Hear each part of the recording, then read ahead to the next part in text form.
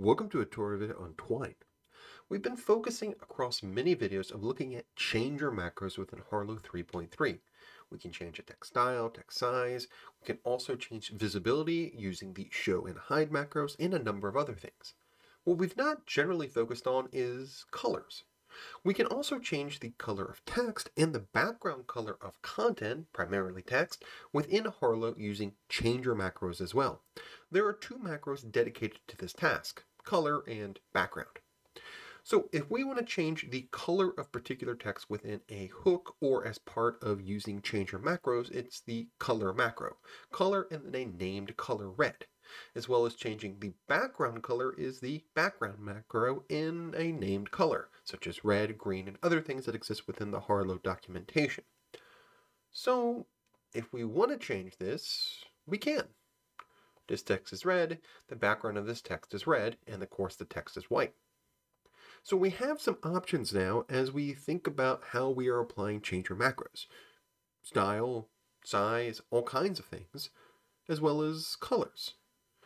So where this can become potentially very useful is we know working with the change macro, which allows us to target very specific hooks by using their names, and the enchant macro, which can use the names of hooks or use text to imply enchantments more generally, we can use color and background, and the other macros we know as part of the changer set, text size, text style, all kinds of other things, and chain them all together, chained the changers. So in this example right here, notice I'm using the enchant macro. And I'm particularly targeting words and phrases, in fact, this entire sentence. So this will be green text and a red background. This will be green text and a red background, combining the color, background, and text size macros all together. Remember, we have two different approaches to think about preparing macros and content within Harlowe.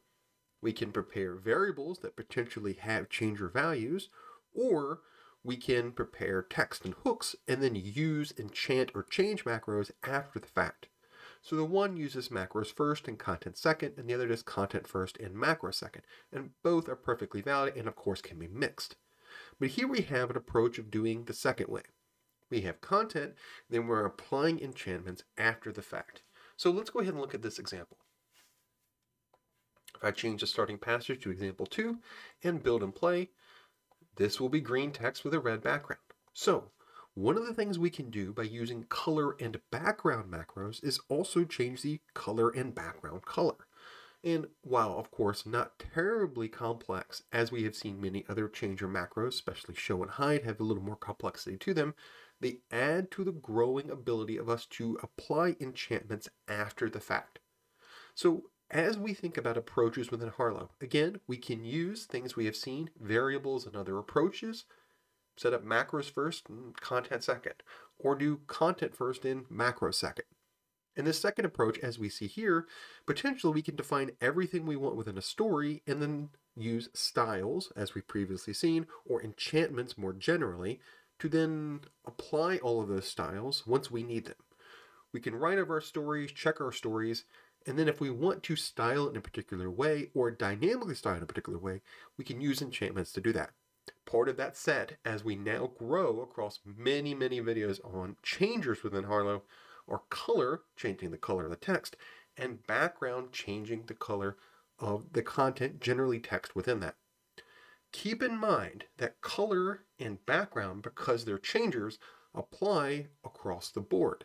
So, put another way, if you want to change the named sections within a page, so sidebar, passage, or page, or even links, color and background work for those as well.